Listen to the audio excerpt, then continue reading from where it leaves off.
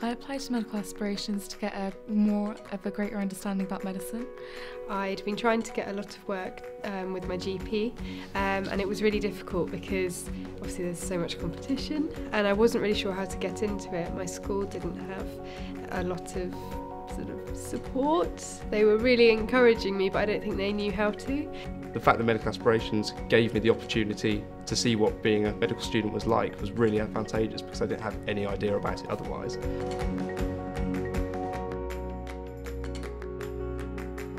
My favourite bit was speaking to junior doctors because although they emphasise how hard it is, um, they also just said about what good fun it is and also about learning different specialities that I could go into. In the brief they said, um, oh you'll live life as a medical student for three three days and I was kind of thinking oh people always say that. You always have things that kind of might seem a bit like it but they're going to give you all the really exciting stuff every now and again. Um, but actually since I've been here it has been completely true to word and it's prepared me fantastically. The problem-based learning session because it's so different to what I've done before. Um, so there was this one particular case where we looked at pathology um, and basically the session was broken up so that we had to look at x-rays at first, interpret the x-ray and there was another piece of evidence, we had to look at that and interpret that, analyse that and then we just kind of worked together to solve the problem as a group and I thought that was just so interesting.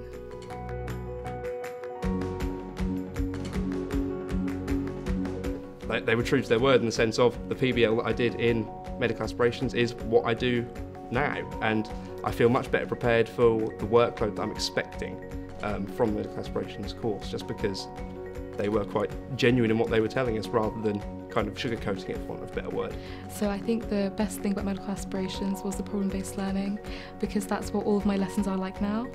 We actually were able to practice PBL so we could learn a bit about how the process works and that you do rely on each other to produce good work but actually in the end it does come together and you can fill in your gaps of knowledge and it makes for better learning I think because I can build on what I already know rather than just having to recap everything that's previously done.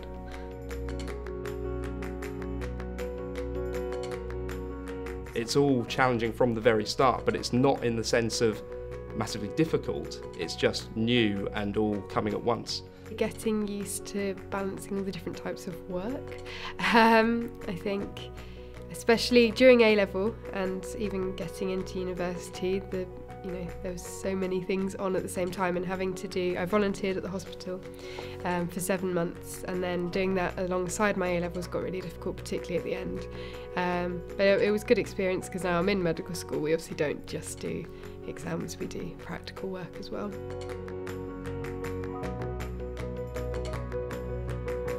Fact that everything's patient orientated. So the lectures that you have is patient orientated. The problem based sessions that you have every week is very much patient led. Um, and it kind of means that you study medicine for patients and you study medicine because what you're going to be doing is orientated towards patients. The most enjoyable thing is putting what I've learned and going to see a patient and thinking, ah, I've recognise this particular bone of the hip. The patient doesn't care that that bone's there, but I know that that's what's gone wrong. And it's just, it's kind of like a rewarding feeling, the fact that you can actually see that what you're doing does have relevance. I think the best bit is probably the patient contact. Um, my first consultation was really nerve wracking, but really good fun. And I think the patients are all really willing to speak to you. And it's just really great way to put what you do in lectures into practice.